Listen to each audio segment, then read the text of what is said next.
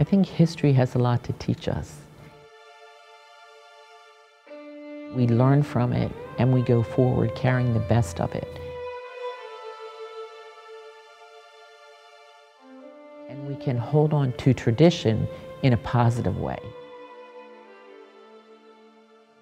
So many of the sisters found that the renovation of the chapel kind of captures all that.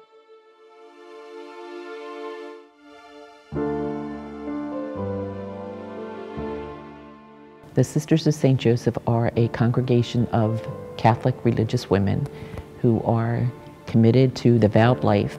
We take vows of chastity, poverty, and obedience. We live in community and we are actively involved in ministries throughout the local area and beyond.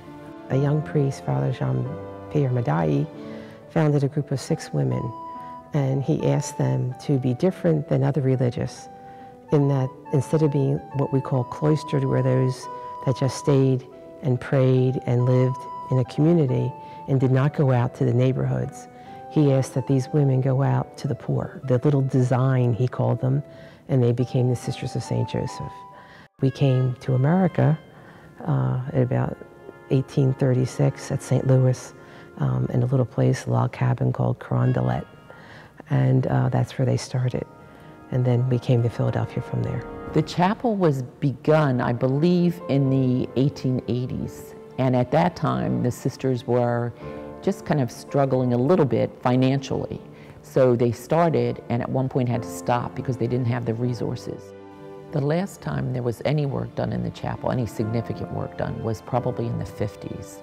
And um, so we had pews that were old pews that were not comfortable, to say the least. Um, we had, as I said, that space between those participating in the worship and the celebrant of the worship.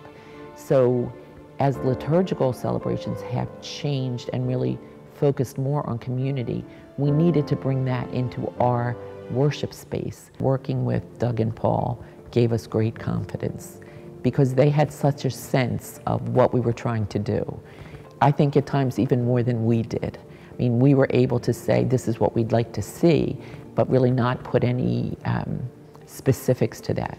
Really, Paul was able to, from the beginning, help us develop some things and present them back to us, and we'd say, that's exactly what we want. The sisters were in need of a design that reinforced communioning, intimacy, accessibility, and comfort.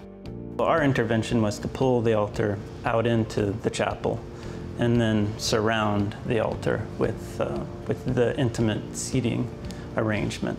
As we are an aging community, that became, you know, um, a tremendous need um, to make things accessible and more feminine soft lines, curves, uh, these sort of gentle touches, seats that were more appropriate to daily mass, a new pew that was more comfortable and had a warmer uh, feel to it. The corona is this really beautiful design element that sits above the altar, calling attention to via light sources, light on the altar and on the ambo and on other aspects of, of the Mass.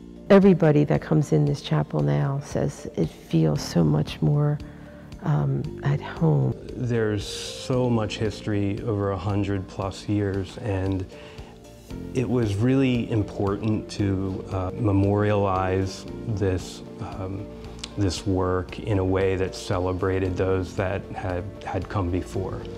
All the sisters have been through here at one point or another in their lives in the congregation. So it's, it's part of the history of us congregationally, but also very personally. So I think it has great meaning for every member and even beyond members, for our families, for our friends. People come to the chapel for all kinds of celebrations. So it's really a touchstone for us as members of the congregation. There is something about that space that makes people um, take a deep breath.